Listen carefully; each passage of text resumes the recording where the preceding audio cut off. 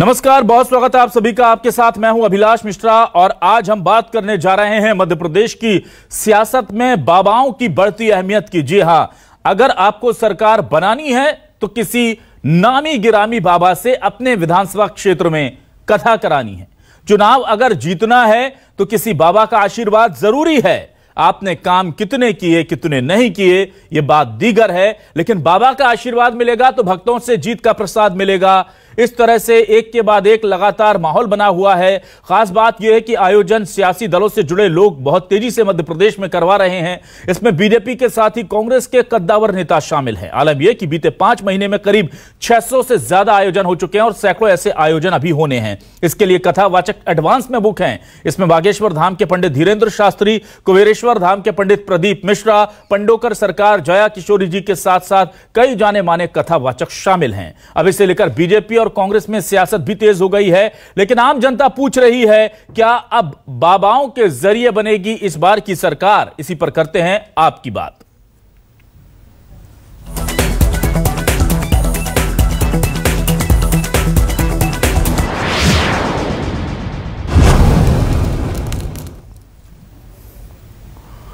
और आइए सबसे पहले देखते हैं कि कांग्रेस से के के मिश्रा क्या कह रहे हैं इस पूरे मामले को लेकर। वो कैसे देखते हैं बाबाओं की इस कथा और सियासत में बढ़ते उनके रुतबे को?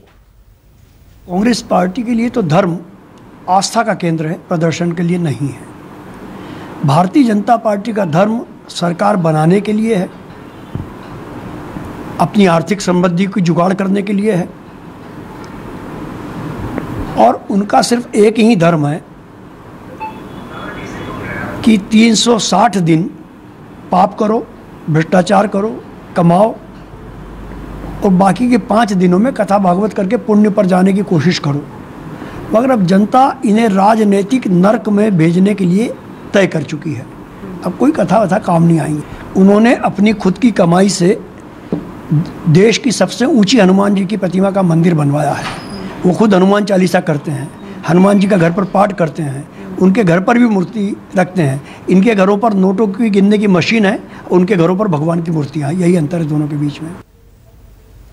और आइए आपको सुनाते हैं कि बीजेपी से दो कद्दावर नेता क्या कह रहे हैं? वीडी शर्मा और तमाम जो बड़े लीडर्स हैं वो इस मामले को लेकर क्या कह रहे हैं? ये भी सुनना ज़रूरी है। कांग्रेस धार्मिक आयोजन में भी राजनीति ढूंढती है। और मैं तो साल में दो तीन चार कार्यक्रम कराता हूँ और चुनाव तो पाँच साल में एक बार आते हैं। कांग्रेस का क्योंकि मंतव्य ये है इसलिए पाँच साल उन्हें भगवान याद नहीं आते। कमलनाथ जी जो हनुमान चालीसा का पाठ पढ़ा रहे हैं, वही कमलनाथ जी हैं, जो हनुमान जी के केक पर छुरी चलाते हैं। ये वही कमलनाथ जी हैं, जिनके नेता और कांग्रेस राम मंदिर का विरोध करती है। ये वही दिग्विजय सिंह हैं, जो हिंदू देवी देवताओं का अपमान करते हैं। इसलिए वो पहले बताएँ कि उनका मंतव्य क्या है। हमारा तो धार्मिक आयोजन है। और हमने तो सबको आमंत्रित किया है। कांग्रेसी भी आए, धर्म का लाभ उठाएँ। फैला करके ही काम को करते आए हैं। तो ये चुनाव में लाभ लेने के लिए वो ये सब करने का प्रयास करते हैं। यहाँ आप हनुमान चालीसा करते हैं और कर्नाटक के अंदर पीएफआई का समर्थन करते हैं। दिग्विजय सिंह हिंदुत्व का विरोध करते हैं और इधर हनुमान चालीसा करते हैं। ये दोहरे चरित्र के लोग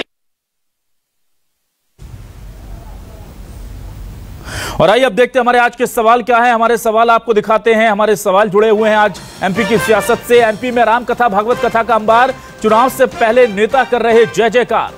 बागेश्वर बाबा, प्रदीप मिश्रा की बुकिंग एडवांस। बीजेपी कांग्रेस कोई नहीं लेता, लेना चाहता चांस जिस पर कृपा करेंगे बाबा, उसी को मिलेगी 2023 की सत्ता। बाबा जिसके साथ, सत्ता उसके हाथ। एमपी चुनाव के असल मुद्दे भूल जाओ। कथा कराओ, सरकार बनाओ। क्या यही हो रहा है मध्य प्रदेश में? जिस तरह से लगातार हम देख रहे हैं, बाबाओं के आश्रय हो गए हैं तमाम नेता, कांग्रेस के नेता भी उसी में, उसी स्तर पर शामिल है, जिसमें बीजेपी के।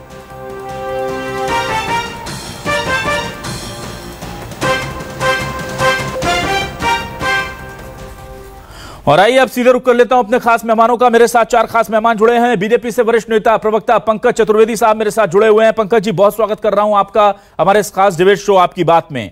मेरे साथ कांग्रेस से वरिष्ठ नेता, प्रवक्ता रोहित नायक जी जुड़े हुए हैं। रोहित जी, आपका भी बहुत बहुत स्वागत है। मेरे साथ वरिष्ठ पत्रकार दिनेश गुप्ता जी जुड़े हुए हैं आज। और मेरे साथ जुड़े हैं डॉक्टर अवधेशपुरी महाराज जी, पीठाधीश्वर स्वास्थ्य पीठ उज्जैन से। चारों मेहमानों का बहुत बहुत स्वागत करता हूँ। सबसे पहले मैं आता हूँ पंकज जी आपके पास। पंकज जी, एक तरह से देखिए, कथाएँ होना, धर्म के रास्ते पर चलना बहुत अच्छी बात है और आयोजन ऐसा नहीं है कि पहले नहीं होते थे, लेकिन इस बार जो चुनाव से पहले साल है जो, उसमें इतना ज़्यादा तेज़ी आई है इन मामलों में। ये आप क्या कहेंगे? इसमें चुनाव का कोई लेना देना नहीं है। या आपको लगता है कि नहीं ठीक है अगर अगर है भी तो उसमें गलत क्या है? अगर जनता को धार्मिक रास्ते पर लाने के लिए चुनाव से पहले अगर थोड़ी सी ज़्यादा कवायद कर ली जाए तो उसे गलत नज़रिए से नहीं देखा जाना चाहिए। देखिए अभिलाष जी आस्था और राजनीति दोनों भिन्न भिन्न विषय हैं। जी।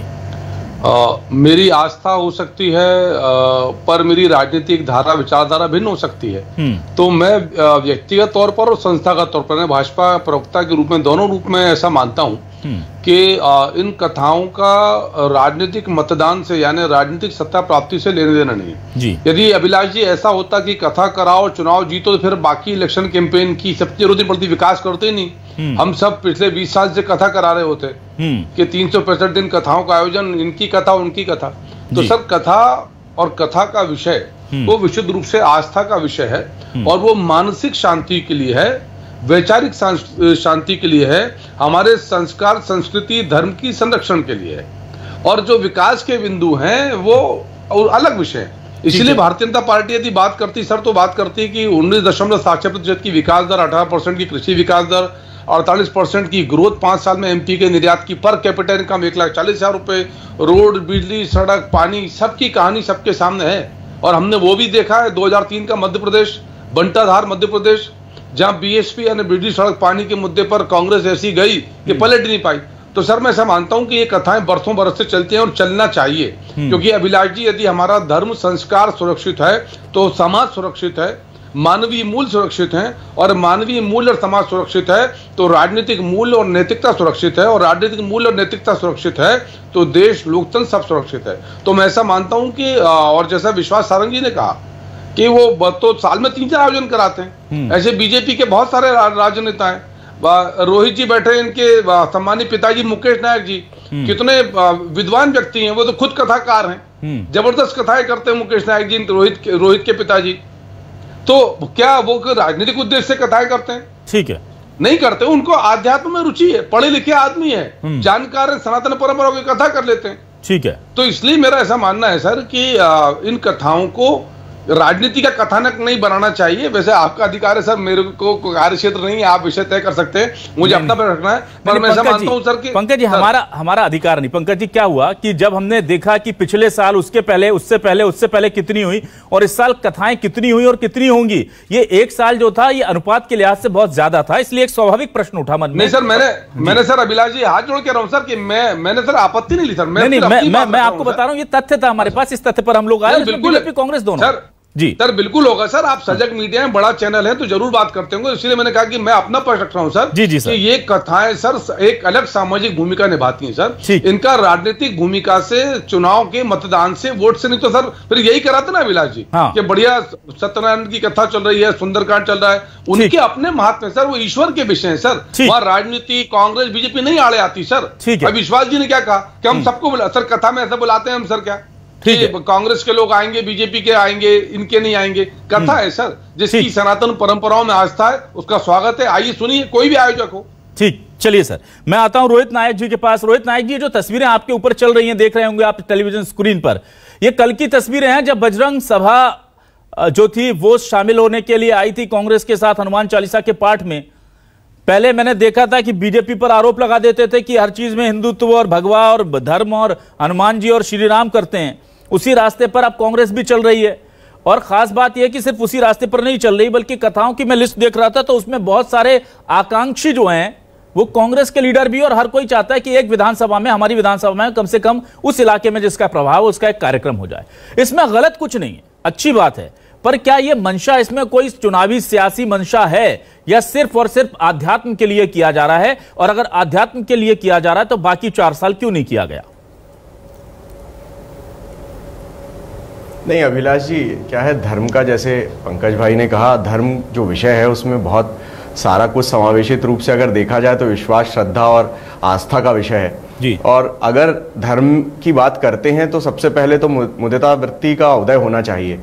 एक एक सहिष्णुता का उदय होना चाहिए। लेकिन जब धर्म के साथ ये बात जुड़ती है कि एक बात करते ही घृणा की घृणा उत्पन्न हो दूसरे धर्मों के लिए तो ये थोड़ा सा ये बात जो है ये हमें दिक्कत यहाँ पर आती है। और जहाँ तक इन कथाओं का सवाल है तो ये तो आस्था का केंद्र है अब किसी से सर्टिफिकेशन की तो आवश्यकता है नहीं। अगर हमारे यहाँ पे श्रावण सोमवार होता है या पंचांग है और उसमें तीर्थ और और तीर्थ में जाने की विधियाँ हैं और सारी पूजा पाठ की विधियाँ हैं और सारे पंचांग में दिए हुए हैं कि किस दिन किस बात किस तिथि के हिसाब से पूजन होगा तो वो ये किसी ने स्थापित तो किया नहीं है तो वैदिक वांग्मय से चला आ रहा है और वैदिक काल से चला आ रहा है। तो अगर कोई कर रहा है तो मुझे लगता नहीं अगर उसको राजनीतिक लाभ कुछ उसमें हो जाए तो अलग बात है लेकिन आस्था का विषय पहले है ये। और इसमें मुझे लगता नहीं कि किसी के सर्टिफिकेशन की ज़रूरत है देखिए क्या है समय के हिसाब से तो अपने आप को बदलना आवश्यक हो जाता है। अभी मैं सुन रहा था विश्वास सारंग जी को वीडी शर्मा जी को।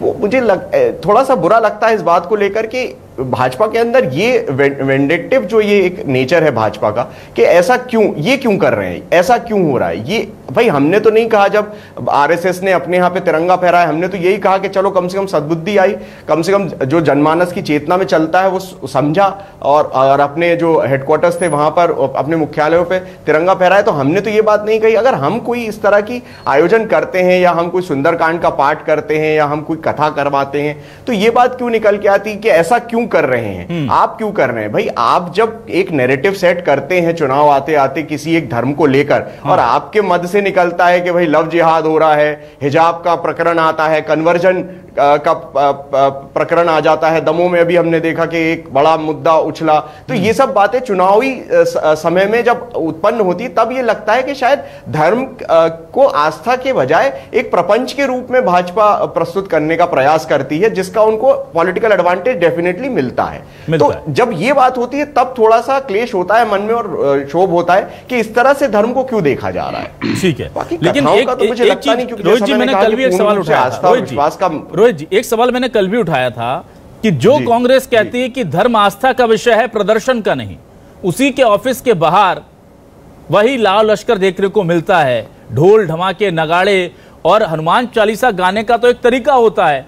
सीढ़ी पर बैठकर ऑफ़िस के हनुमान चालीसा ज़ोर ज़ोर से आधे आधे बीच में गाई जाती है फिर रोक दी जाती है फिर गाई जाती है।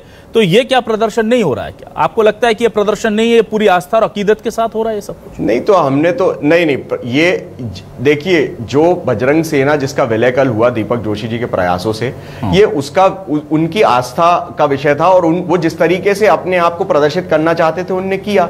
अब हमने तो ये तक देखा है कि मॉल मॉल्स में जूते पहन के लोग हनुमान चालीसा का पाठ कर रहे थे। तो ये सब चीज़ें भी तो प्रपंच ही हैं। मेरा ये कहना है कि वो जो बजरंग सेना की आस्था थी जो उनका विश्वास था। उनने उस बात को प्रकट करने के लिए इस तरह का अपना एक एक पूरा बिल्टअप किया अपने अपने राजनीतिक जो भी उद्देश्य था उसको। ठीक है। तो मैं मैं अवधेशपुरी महाराज जी के पास आता इसको इस तरीके से देखना चाहिए कि हमने ऐसा क्यों कर दिया भाई। ठीक है ठीक है। अवधेशपुरी महाराज जी मैं आपसे जानना चाहता हूँ ये साधु संत जो हनुमान चालीसा कथा पाठन ये सब करवा रहे थे वो हम देख रहे थे चल रहा था। लेकिन अब हमें ऐसा लग रहा है कि देखिए बहुत अच्छा धार्मिक माहौल बन गया है मध्य प्रदेश में। खुशी होती है आपको या आपको लगता है कि यह गलत तरीका हो रहा है क्योंकि इसका इस्तेमाल किसी और मकसद से हो रहा है? क्या क्या आपको क्या लगता है? एक बड़े संत होने के नाते आप कैसे देखते हैं? मकसद तो कोई भी हो सकता है राजनीतिक मकसद है तो भी कोई आपत्ति इसमें इसलिए नहीं होनी चाहिए। क्योंकि कथा एक ऐसा सब्जेक्ट है जिसमें सामाजिक मूल्य भी हैं जिसमें धार्मिक मूल्य भी हैं जिसमें राजनीतिक मूल्य भी हैं जिसमें सांस्कृतिक मूल्य भी हैं जिसमें आध्यात्मिक मूल्य भी हैं। मानवता के कल्याण के लिए जिन जिन मूल्यों की जिन जिन आदर्शों की आवश्यकता है, वो सारी चीज़ें इकट्ठी अगर कहीं मिलती हैं तो वो कथा में मिल जाती हैं। क्योंकि कथा जब होती है तो जो वक्ता होता है, उसने अनेक ग्रंथों का अध्ययन किया होता है, और उन सारे ग्रंथों का सार वो कम शब्दों में और कम समय में लोगों के सामने प्रस्तुत करता है। तो उसका लाभ लोगों को मिलता है। तो मेरे समझ में अगर कथा कोई भी करा रहा है चाहे वो कांग्रेस कराए या भाजपा कराए आम आदमी पार्टी कराए कोई भी संगठन कराए मुझे लगता है इसमें कोई आपत्ति तो नहीं होनी चाहिए। लेकिन आपका जो सब्जेक्ट डिबेट का जो बना है वो इसलिए बना है कि इससे पहले कांग्रेस कथाएँ नहीं कराया करती थी। भाजपा तो शुरू से करा रही है। संतों को भाजपा का समर्थक क्यों लोग मानते हैं? सिर्फ़ इसलिए मानते हैं कि भाजपा धर्म की राह पर शुरू से हम जैसा देख रहे हैं हम तो बच्चे थे तब से देख रहे हैं। उन्नीस सौ चौरासी में हमने देखा जब रा, राम मंदिर के लिए वो शिला यात्रा निकली थी हम्म। संघ ने निकाली थी तो संघ भाजपा का समर्थक रहा राष्ट्रवादी संगठन है। हम्म। लेकिन फिर भी वो धार्मिक संगठन भी है धार्मिक गतिविधियों में का समर्थन करता है। इस नाते वो भाजपा का समर्थन करता चला आ रहा था। हम्म। तो हम जब से देख रहे हैं कि भाजपा जो है धर्म के रास्ते पर चलती आ रही। है ठीक। कांग्रेस ज़रूर धर्म का बीच बीच में विरोध करती है। मैं तो कांग्रेस से बहुत ही विनम्रता के साथ ये बात कहूँगा कि आप धर्म का विरोध न करें। आप भी हिंदू हैं। आप कोई मुसलमान नहीं है आप कोई ईसाई नहीं है आप हिंदू हैं। जो लोग हिंदू हैं हम्म। वो हृदय से हिंदुत्व को स्वीकार करें। अब जब कांग्रेस हिंदुत्व का विरोध करेगी और राम कथा कराएगी कृष्ण की कथा कराएगी तो ये एक विरोधाभास की जो परिभाषा समाज में जाती है रॉन्ग मैसेज देती है एक गलत संदेश देती है। विरोध मत करो आप भी कथा कराओ सभी कथा कराएँ। और कथा का अगर आपको राजनीति में कोई लाभ मिलता है तो मिलना चाहिए। और मैं तो कहता हूँ कि राजनीति में केवल कथाओं का ही उपयोग न हो जो विद्वान लोग हैं चाहे हाँ। वो संत हैं वरिष्ठ कोई अच्छे विद्वान है सामाजिक हैं उन लोगों का भी आप उपयोग करो। केवल उनको बनाओ मत। हम्म। उनको आप आने दो राजनीति में आप उनको साथ में आसमान का मत समझो। आप उनको ऐसा मत समझो कि उस जमाने में तो इनको राजनीति से कोई मतलब नहीं था। या जिस जमाने की हम चर्चा करते हैं उस जमाने में ये वोट भी नहीं डालते थे। आज वो समाज में जीते हैं वोट देते हैं इस संविधान के एक हिस्सा है नागरिक है इस देश के। तो है। आप उनको मूलधारा से भी जोड़ो केवल उनका उपयोग भी न करें। ठीक है दिनेश गुप्ता जी आपके पास आता हूँ। दिनेश गुप्ता जी देखिए शासन की परंपरा में हिंदुस्तान में संस्कृति में शामिल रहा है कि धर्म गुरुओं को साथ रखा जाता था ताकि जब भी राजा या जो प्रशासक होता था वो कोई गलत रास्ते पर जा रहा होता तो धर्म गुरु बताता था कि आपका धर्म ये है आप ये कीजिए। उससे टोकता था उससे सलाह ली जाती थी उससे विचार विमर्श किया जाता था। आज की सत्ता में अगर धर्म गुरुओं के साथ नेता आ रहे हैं तो आपको लगता है कि राजधर्म का पालन कर रहे हैं या आपको लग रहा है नहीं? ये पॉलिटिकल सिस्टम अब ऐसा हो गया है कि अब वो रिलीजन को रिलीजियस पर्सन को उनको भी यूज़ करना चाहता है एज अ टूल क्या लगता है देखिए इसके लिए चाणक्य की जो नीति है उसमें जो नीति वाक्य। हैं और उन्होंने जिस तरह से शासन करने की के बारे में कहा है यदि वो राजनेता सीख लें तो बहुत सारी चीज़ें हमारे समाज में नहीं हो। लेकिन अब देखिए ना कि ये बहुत स्वाभाविक सा सवाल है इतने सारी कथाएँ हो रही हैं। कांग्रेस करा रहा हो या भाजपा करा रही हो? पहले तो ये कथा को राजनीतिक मकसद से नहीं कराया जाता था कौन कब कराता था ये विषय नहीं है। आज चुनावी साल में जब कथाएँ हो रही हैं तो निश्चित तौर पर इस सबका ध्यान जा रहा है। ये हो क्यों रहा है अभिलाष जी? देखिए आप जो चीज़ें मध्य प्रदेश में हो रही है उस पर जरा एक आउटलाइन आप देखेंगे तो आपको पूरी कथा का सारांश समझ में आ जाएगा। कथाएँ भी हो रही हैं लाडली बहना योजना के लिए सवा करोड़ महिलाएँ लाइन में हैं जिनके इंतज़ार है दस तारीख का कि एक एक हज़ार रुपए आएँगे। और एक जिहाद का विवाद चल रहा है। आपका इसके बीच में टारगेट वोटर कौन है? टारगेट वोटर सवा करोड़ महिलाएँ हैं। इनको आप किसी भी तरह से आप देख रहे हैं जितनी भी कथाएँ हो रही हैं उनमें महिलाएँ आपको संख्या में ज़्यादा दिखाई देंगी। और उन उस कथा में यदि आप देखिए किसी भी कथा में नहीं लिखा हुआ कि हिंदू राष्ट्र बनाने का हमको संकल्प लेना है। ये किस किस उसमें लिखा है? ना तो भागवत में ना किसी दूसरे कथा में।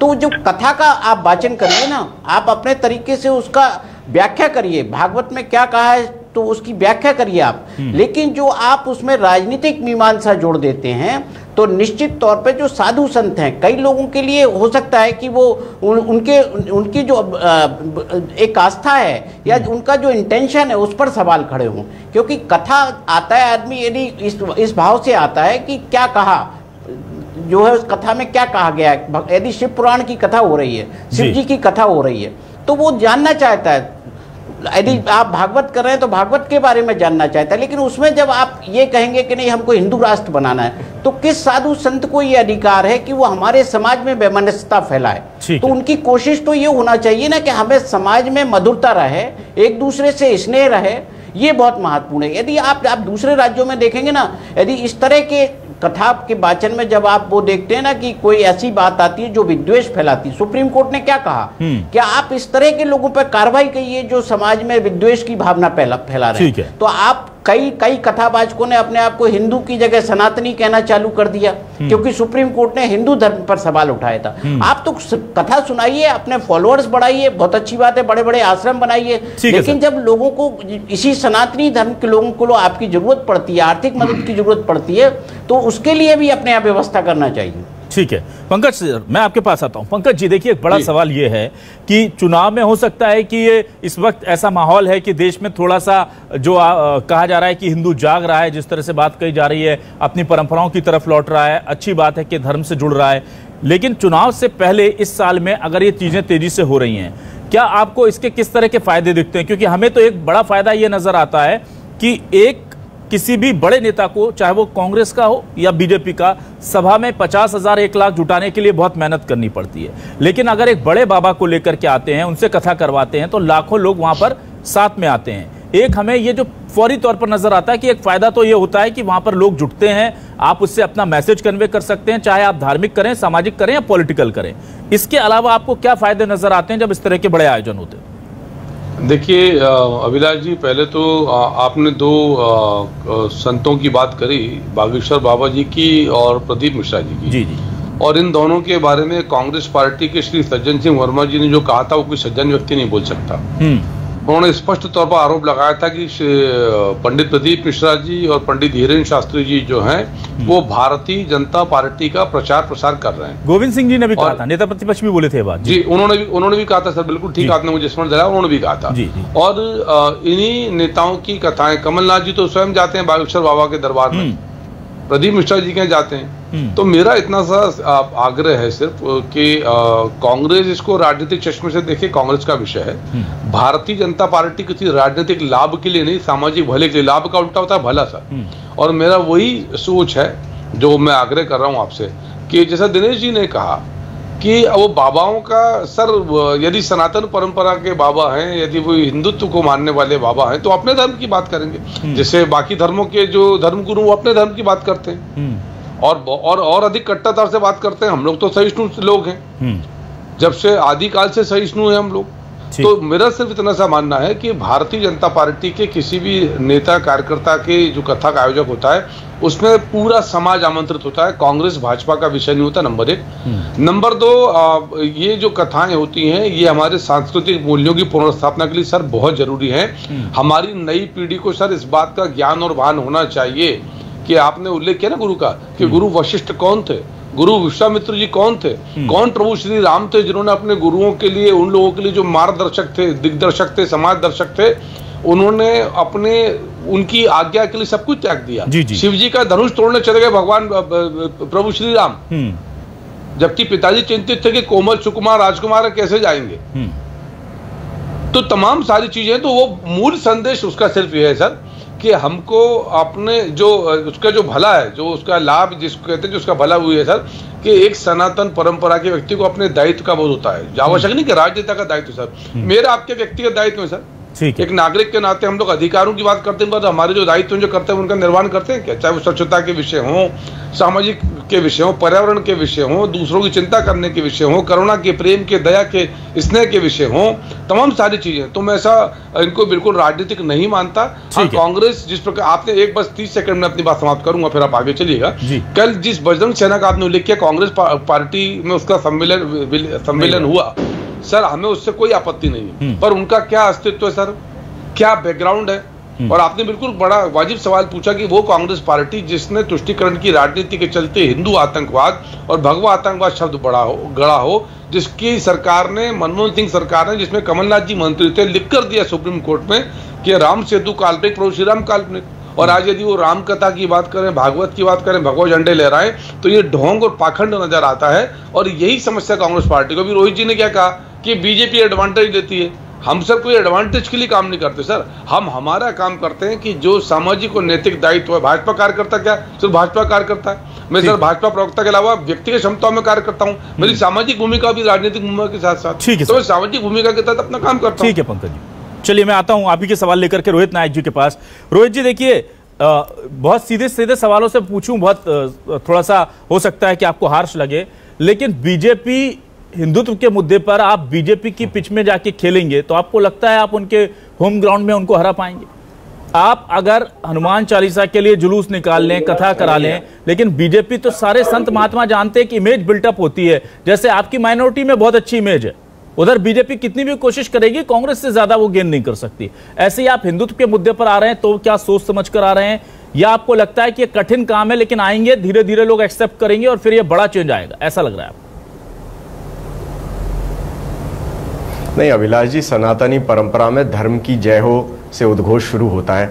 हम मानते हैं इस बात को कि हमारा एक देश है, लेकिन हम ये भी मानते हैं और इस बात को भुला नहीं सकते कि वसुदेव कुटुंबकम का भी नारा हमारे यहाँ पे दिया गया है। जी। तो जब हम इन सारे सूत्रों की बात करते हैं और हम ये कहते हैं कि नक्षत्र क्या है गोत्र क्या है जो ग्रह है वो क्या है नाड़ी क्या होती है तो ये सारे सूक्ष्म ज्ञान जो हमको मिले हैं ये सारे ज्ञान कोई ऐसा तो है नहीं कि अभी अवतरित हो गए ये तो पहले से हैं। और अगर पूजा पाठ की बात की जाए तो मेरा सीधा सीधा ये कहना रहता है कि भाई सर्टिफिकेशन क्यों देना? अभी जो पैनलिस्ट हैं हमारे उनने कहा कि जो अगर कोई बाबा है वो बैठे हैं और अगर अपनी व्यासपीठ से वो ये कह रहे हैं कि हिंदू राष्ट्र की स्थापना हो। तो देखिए हिंदू राष्ट्र की स्थापना करने का दायित्व तो उनने थोड़ी उठाया। वो तो अपना कथावाचन करे।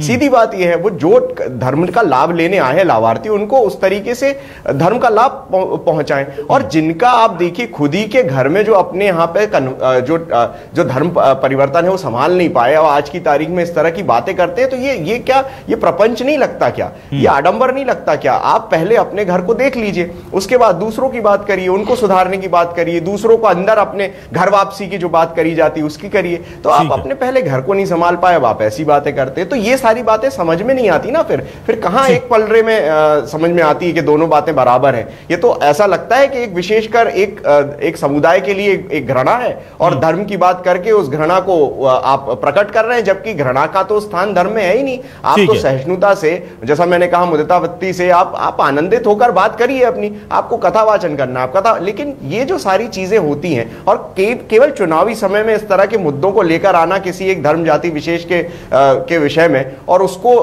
पॉलिटिकल माइलेज के लिए इस्तेमाल करना तो ये तो सही नहीं है ना। अगर आप अपने धर्म की लकीर बड़ी करना चाहते हैं तो आप धर्म की लकीर बड़ी करिए। लेकिन दूसरे की तरफ़ उंगली उठाकर उसके धर्म को छोटा बताना क्या धर्म में ये सिखाया जाता है ठीक है सर ठीक है। मैं आता हूँ जल्दी से अवधेशपुरी महाराज जी के पास। अवधेशपुरी महाराज जी। आपसे जानना चाहता हूँ जैसे कि नायक जी ने कहा कि आप धर्म का प्रवाह प्रचार प्रसार कीजिए अच्छी बात है अगर धर्मगुरु है कोई तो लेकिन हिंदू राष्ट्र की का निर्माण करेंगे ये उन्हें नहीं कहना चाहिए काम संविधान पे रहने देना चाहिए। ये इनकी जो मानसिकता है ये अगले छह महीने में बदल जाएगी कांग्रेस की पूरी तरह से। और मुझे लगता है कि इस चुनाव से पहले कांग्रेस कहने चलेगी कहने लगेगी कि हमको ही हिंदू राष्ट्र घोषित कराना है। हम अपने मैनिफेस्टो में देते हैं ऐसा भी हो सकता है। क्योंकि जिस प्रकार से कांग्रेस का रुझान धर्म की ओर बढ़ रहा है अभी अभी एक मैन में दो तलवार डालने का काम कर रही है। एक तो धर्म को स्वीकार भी करना चाहती है और दूसरे धर्म को इस प्रकार से वो मतलब बदनाम भी करना चाहती है। अरे कोई हिंदू राष्ट्र की बात कर भी रहा है तो उसमें क्या गलत कर रहा है वो? क्यों गलत कर रहा है? जिस देश में 80 परसेंट हिंदू लोग रहते हो क्या वो अपने धर्म रक्षा की बात नहीं करेंगे? धर्मो रक्षत रक्षिता। ये हमारे शास्त्र कहते हैं। ठीक है। जो धर्म की रक्षा करता है धर्म उसकी रक्षा करता है। तो अपने धर्म के उत्थान के लिए अपने धर्म के विकास के लिए सात समुद्र पार से लोग आ- लोग आकर के ईसाई लोग आपके यहाँ मिशनरी मिशनरी चला रहे हैं। उन पर उन पर किसी का ध्यान नहीं। मुसलमानों ने आठ आठ सौ साल तक यहाँ राज्य किया उस पर किसी का ध्यान नहीं गया। वो धर्म के लिए तो किया था। अरब कंट्रीज़ कम पड़ रहे थे क्या? ठीक तो इन लोगों को ठीक इसलिए है। मतलब जनता को भ्रमित करना चाह रही है गलत बात है। ठीक है, ठीक है। हिंदू राष्ट्र की मांग उठी है तो बिल्कुल ठीक उठी है। संविधान में संशोधन होगा आज नहीं तो कल होगा। ठीक है, आपकी मांग- आप- ठीक है। को तो छोड़ो आप अगर आपकी भावनाओं का भी सम्मान करते हैं तो- हम। ठीक है दिनेश गुप्ता जी के पास आता हूँ सर समय कम दिनेश गुप्ता जी सर मुझे आप ये बताइए क्या आपको लगता है कि कांग्रेस की ये जो कोशिश है कि एक सॉफ्ट हिंदुत्व की इमेज वो बिल्टअप कर ले उसमें कितनी कामयाब होती नज़र आ रही है खासतौर से कमलनाथ जी के नेतृत्व में? देखिए, वो कितनी कामयाब होगी वो अलग विषय है, क्योंकि कांग्रेस हमेशा से ये पिछले हमने 18 में भी देखा, इसी तरह का स्टैंड उन्होंने लिया था। क्योंकि बहुत सारे दूसरे मुद्दे भी होते हैं विधानसभा क्षेत्रों में क्योंकि इस मुद्दे पर केवल आप ये देखेंगे चुनाव नहीं होना कि कौन जो है हिंदुत्व की बात कर रहा है और कौन सनातन की कर रहा है। हमारे यहाँ तो बानवे में जब बाबरी मस्जिद गिराई गई थी उसके बाद भी भारतीय जनता पार्टी की सरकार नहीं बन पाई थी। और आप देखें ना केंद्र में भी नहीं बनी थी और राज्य में भी जो है तिरानवे में सरकार नहीं बन पाई थी। तो ये वोटर अपने मुद्दे खुद तय करता है ये इनका कोशिश है ये कि एक राजनीतिक उसमें माहौल में एक धार्मिक मुद्दा भी जोड़ा जाए अन्यथा जो जनता के मुद्दे हैं चाहे महँगाई हो या उसकी आवश्यकता हो दूसरे मुद्दे भी इसके बीच में काम करते हैं। ठीक है। तो कुल मिलाकर के धर्म के लिए अगर सियासत में इस तरह की चीज़ें आ रही तो बहुत अच्छी बात है। कम से कम ये एक चीज़ रहेगी कि लोग हमारी सनातन की संस्कृति से जुड़े रहेंगे। अगर इसके पीछे राजनीतिक मंशा भी है तो इसके कोई साइड इफ़ेक्ट नज़र नहीं आते। लेकिन अगर कट्टरता बढ़ती है तो क्या समाज का सद्भाव बिगड़ने का इससे खतरा भी है? यह बड़ा सवाल है। और बाबाओं का आशीर्वाद किससे ज़्यादा मिलेगा? उसकी परंपरागत बीजेपी को जो साथी मानी जाती है, या कांग्रेस भी अपनी इमेज को बिल्टअप करके उनका भरोसा जीत पाएगी, देखा जाएगा। बहुत बहुत शुक्रिया दिनेश गुप्ता जी। रोहित नायक जी, डॉक्टर अवधेशपुरी महाराज जी और पंकज चतुर्वेदी जी, आप सभी मेहमानों का इस डिबेट का हिस्सा बनने के लिए शुक्रिया। दर्शकों को नमस्कार।